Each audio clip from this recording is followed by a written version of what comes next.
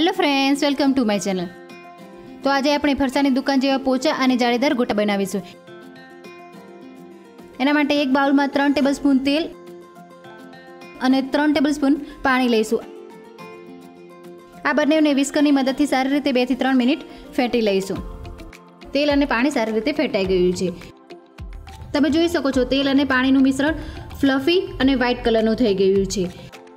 હવે આ મિશ્રણમાં આપણે અઢી ચમચી ખાંડ એક ચમચી મીઠું દસથી બાર નંગ લીલા મરચાંને ઝીણા કટ કરીને ઉમેરી લઈશું. એમાં આપણે એક ચમચી અધકચરા કરેલા કારા મરી અને ત્રણ ટેબલ સ્પૂન અધકચરા કરેલા ધાણા ઉમેરીશું. અને આ બધા મસાલાને સારી રીતે મિક્સ કરી લઈશું. તમે અહીંયા વન ફોર ચમચી હિંગ પણ ઉમેરી શકો છો. આ મિશ્રણમાં આપણે એક કપ મેથીને ધોઈને ઝીણી સમારીને ઉમેરી લઈશું અને મેથીને સારી રીતે મિક્સ કરી લઈશું. અને ત્રણ કપ ઝીણો ચણાનો લોટ લઈશું. તમે બેસન પણ લઈ શકો છો. પછી થોડું થોડું પાણી ઉમેરતા જઈને લોટમાં ગાંઠા ન રહે એ રીતે મિક્સ કરતા જઈશું. પછી બેટરમાં બે ચમચી ઝીણો સોજી ઉમેરીશું અને મિક્સ કરી લઈશું. તમે સોજીની જગ્યાએ કરકરો ચણાનો લોટ પણ લઈ શકો છો. મને ગોટાનું બેટર તૈયાર કરતાં એક કપથી થોડું વધારે પાણી જોયું છે. હવે આપણે બેટરને બેથી ત્રણ મિનિટ સુધી ફેંટી લઈશું. બેટર ફેટાઈ જાય પછી બેટરને ઢાંકીને દસ મિનિટ રેસ્ટ કરવા મૂકીશું.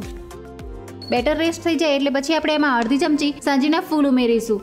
અને એના ઉપર એક મોટા લીંબુનો રસ ઉમેરીશું. અને આ બંનેને બેટરમાં સારી રીતે મિક્સ કરી લઈશું. મેં પહેલેથી જ તેલ ગરમ કરવા મૂકી દીધું હતું.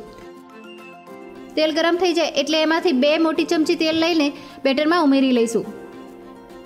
અને સારી રીતે મિક્સ કરી લઈશું. બેટરમાં ગરમ તેલ ઉમેરવાથી ગોટા સરસ પોચા બને છે. બેટરને હાથમાં લઈને બેટર આ રીતે આસાનીથી નીચે પડી જાય છે.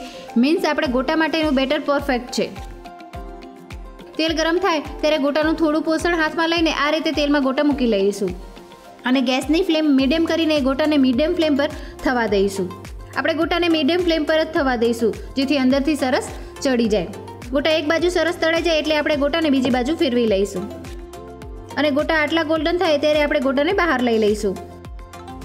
આ રીતે મેં બધા ગોટા તળી લીધા છે. હવે હું ગોટાને પ્લેટમાં લઈ લઈશ. મેં ગોટાને ઘટી અને ડુંગળી સાથે સર્વ કર્યા છે. તો તમે જોઈ શકો છો, મેથીના ગોટા સરસ પોચા અને જાળીદાર બન્યા છે. તો તમે પણ આ રીતે ગોટા બનાવો અને મારી ચેનલને લાઇક શેર એન્ડ સબસ્ક્રાઈબ કરજો. Thank you